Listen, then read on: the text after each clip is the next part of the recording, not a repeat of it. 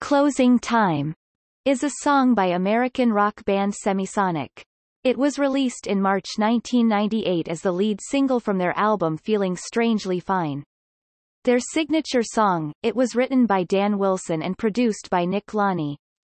It was nominated for the Grammy Award for Best Rock Song in 1999. It reached number one on the US Billboard Modern Rock Tracks chart and the top 50 in Australia, New Zealand and the United Kingdom. It is certified silver in the latter country. While the song is about people leaving a bar at closing time, and widely interpreted as such, drummer Jacob Slichter has also indicated that the song was written by Wilson in anticipation of fatherhood and that it is about being sent forth from the womb as if by a bouncer clearing out a bar.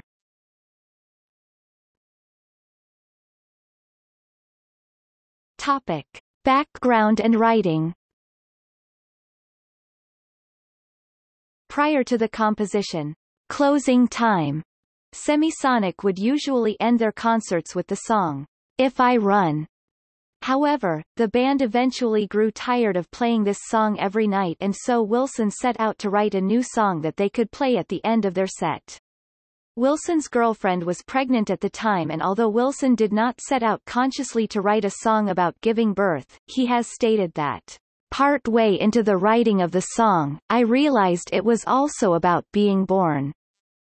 The song ends with a quote attributed to Roman Stoic philosopher Seneca every new beginning comes from some other beginning's end.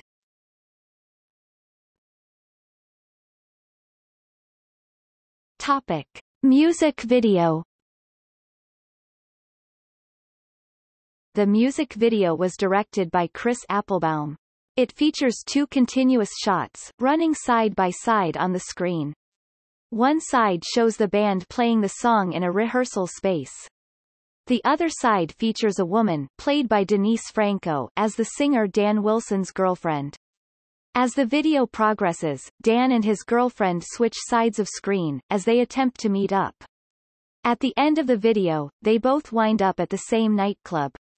However, they still end up missing each other by mere seconds and never meet. The trick of the video is that each shot was done as one long, continuous shot, with no cuts or editing, and therefore relies on proper timing to get the two sides of the video lined up properly.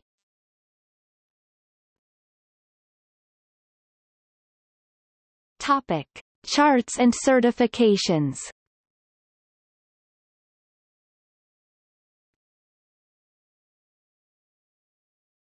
Topic.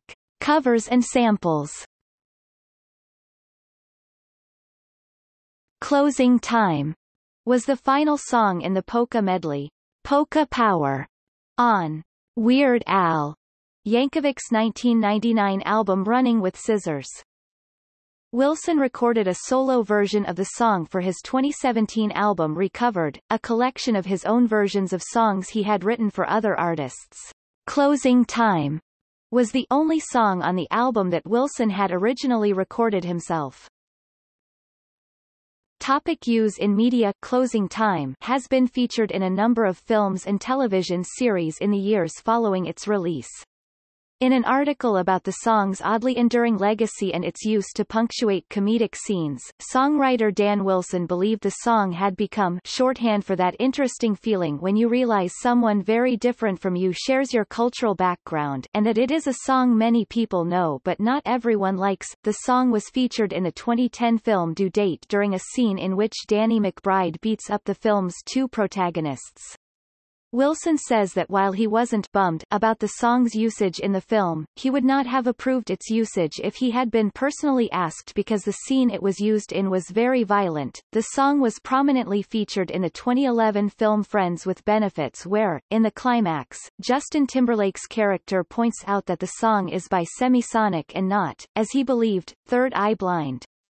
In a Season 8 episode of The Office titled Doomsday, it is revealed that new manager Andy Bernard ends every workday by leading the office in singing Closing Time. While no one in the office particularly likes the song and Stanley Hudson admits his joy on hearing Andy sing it solely relates to his appreciation for anything that ends a workday, Wilson felt its usage on the show was enjoyable.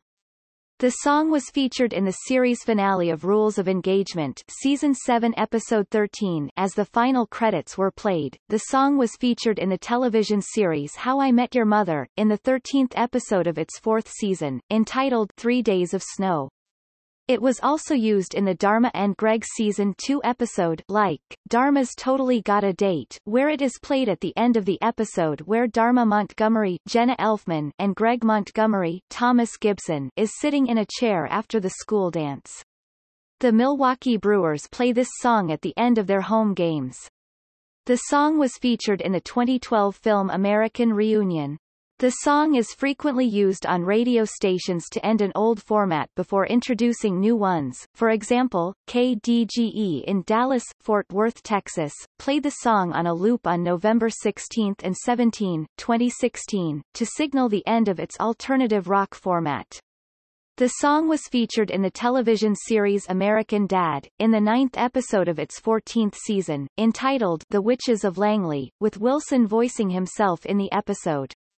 Dodgers organist Dieter Ruehle played the song at the end of the 2018 World Series, played at Dodgers Stadium.